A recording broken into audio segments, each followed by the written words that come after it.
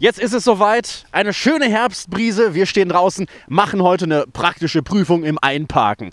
Anne und ich, Frau, Mann, werden einparken. Experte vom TÜV, Herr Schäfer, wird das Ganze als Fachmann bewerten. Legen wir los.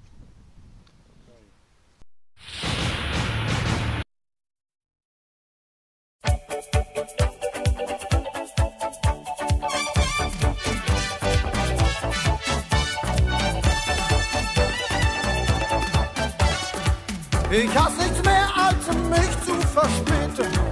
Die Sonne brennt und im Auto ist heiß. Ein Hubkonzert wie von tausend Trompeten. Ich will zu dir, nun steh ich hier so'n Scheiß. Ah! Der Einparkvorgang selbst in Ordnung, profimäßig. Kann man nichts dagegen sagen. Ach, siehst du? Nicht ganz prüfungskonform. Was? Aber ja.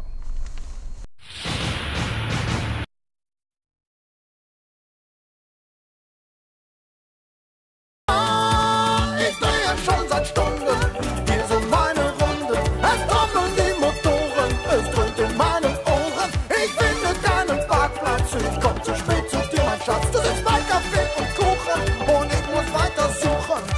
An jeder Ecke stehen Politessen, lauern wie Panther zum Sprung. Das war in Ordnung. Abstand ist okay.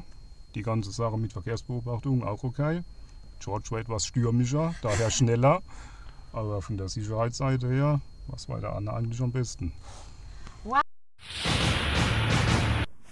So, nun äh, sind wir äh, am Ende unserer Fahrprüfung heute, was das Einparken angeht. Ich muss sagen, was die Regeln angeht, war Anne besser. Ja, da sieht man es mal wieder, Frauen singen gar nicht so schlecht. Siehst du mal.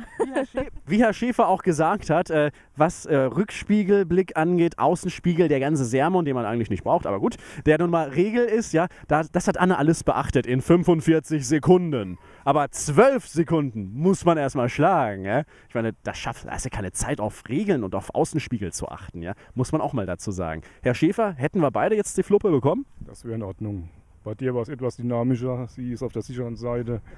Ich würde sagen, halb, halb, ja. Reichen wir uns die Hand, Anne. Kompliment, schön gemacht.